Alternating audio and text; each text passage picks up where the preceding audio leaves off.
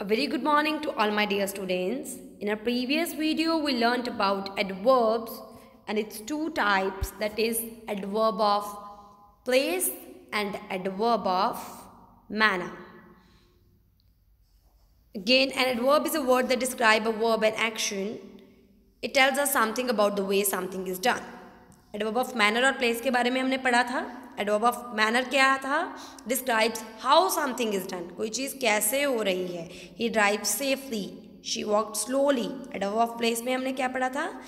Describes where something happens कोई चीज़ कहाँ पे हो रही है? Okay now adverbs of time some adverbs and adverb phrases answer the question when कुछ एडवर्ब हमें यह बताते हैं कि कोई चीज़ कब हुई? The train has already left we moved into a new house last week कब हुए? Last week I am going to my new school tomorrow कब जाऊँगा?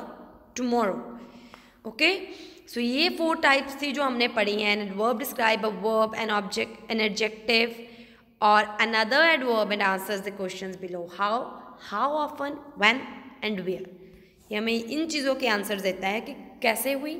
कब हुई? कहाँ हुई?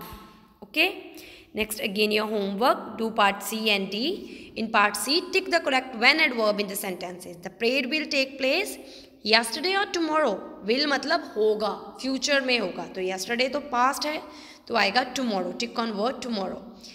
Before they left they gave me spare key और after they left they gave me spare key जाने के बाद तो नहीं देने आएँगे ना स्पेयर की जाने से पहले उन्होंने एक स्पेयर की एक्स्ट्रा की मुझे दी he visit my house of fun rest you will do by yourself next is part D make adverb by adding L Y अब आपको यहाँ पे जो हिंट बॉक्स में वर्ड दिए हुए हैं you have to add on L Y with it आपको इनके साथ एल वाई एड करनी है. The dog barked loudly the sums were easy so the children finished them quickly quick के साथ एल वाई लगना है. Ali drove the car carefully in the traffic okay rest you will do by yourself. I will send you the answer keys later on. Part E think of a few more adverbs and write them in the space provided how adverb आपको उनकी examples देनी है?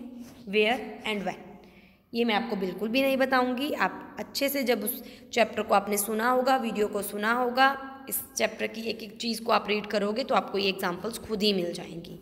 So do your own remainings of part C D E on page seventy three seventy four till